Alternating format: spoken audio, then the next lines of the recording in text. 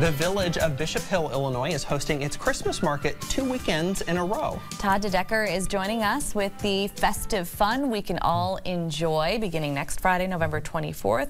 Todd, welcome back. Thanks for being here. Well, thanks for having me. Absolutely. Bishop Hill, of course, uh, many of us know it has Swedish roots, mm-hmm. uh, a very historic village, and uh, this Christmas market uh, incorporates all of that. Uh, pronounce it again.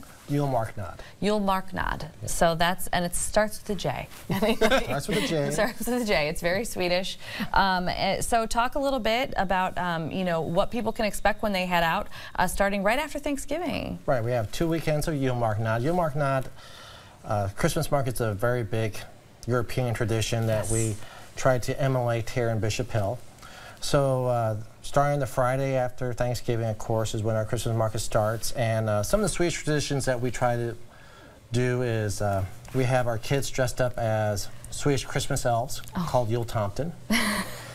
and uh, it's actually the Swedish traditions, they're the ones that actually delivered the gifts in Sweden, mm -hmm. not mm-hmm. Santa.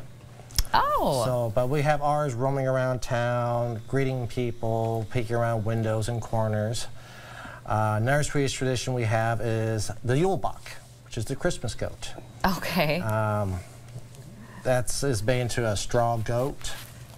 Uh, Gävle in uh, Sweden has a straw goat uh, they build each year as big, big, as a house. Is that what you brought in today? Yeah, that's what I brought. Oh, here we go. We're buying a small one.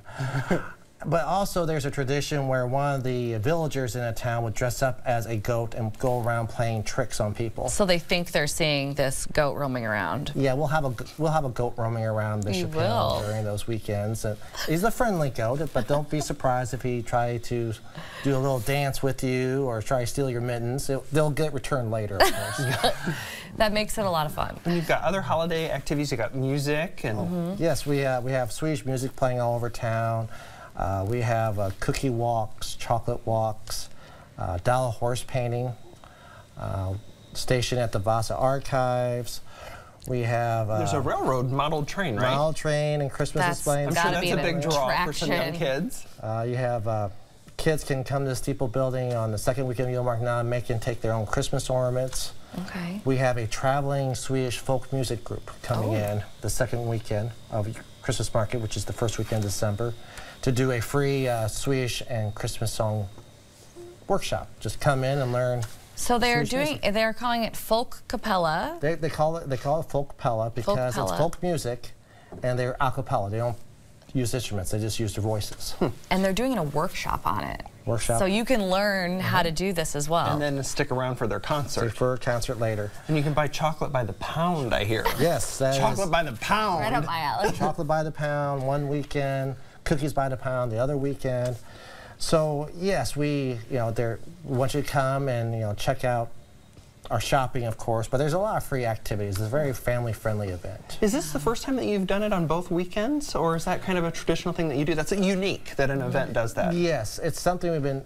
It's something we just do in Bishop Hill. We've been doing it for years. It, it seems to work out pretty well because, as you know, you know, day after Thanksgiving, a lot of people are trying to get their you know, main Christmas shopping done. Yep. So we offer the second weekend in case they want to go out and get the uh, Swedish Christmas experience. Yeah, it's really great. It gives you something to do and have fun and then something to look forward to the following weekend. All right, well, here's that information. The Bishop Hill Christmas Market, it starts next Friday, runs through that weekend, also happening on the following Saturday and Sunday, December 2nd and 3rd. Uh, you can find much more information about this event and Bishop Hill in general by heading to visitbishophill.com.